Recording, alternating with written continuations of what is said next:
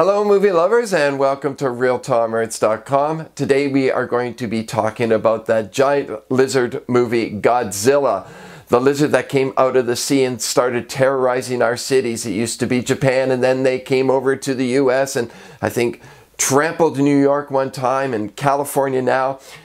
He's really quite a menace, it seems, but Godzilla still draws the audience, despite the fact that there have been seven reboots or more than seven reboots or variations of Godzilla throughout the years, and very few of them succeed. So there is reason to be wary before going into the theater. Not just because Godzilla has a pretty bad track record as far as being a good movie, but also because the movie is being released in May. And this is not when the studios have the most confidence in their films. They release them now to avoid going up against the real big blockbusters that come out in the summer.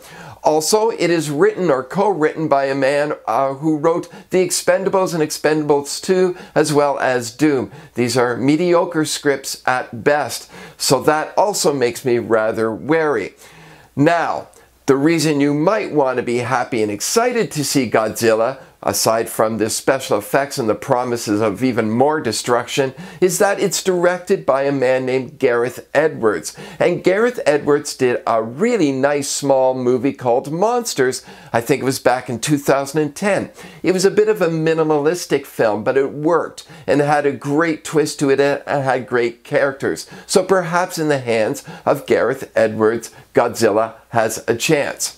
Well, now, after seeing the movie, I can say, at least for myself, that Godzilla works on a lot of levels, and then again, it doesn't work on so many other levels.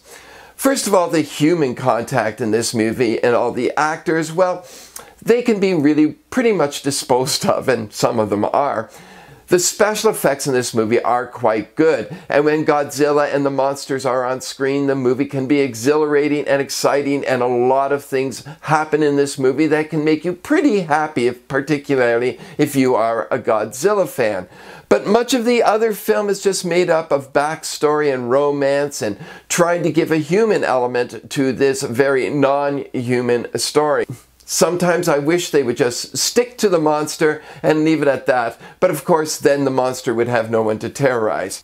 So in some ways, this Godzilla is the best Godzilla in a long time. It certainly has outdone the other Godzillas of recent years, but it's still not quite up to par. Maybe Godzilla should have been left back in the 50s and left in the hands of the Japanese filmmakers where he seemed to really excel and be comfortable bring Godzilla into the States, and the poor guy is just like a lizard out of water.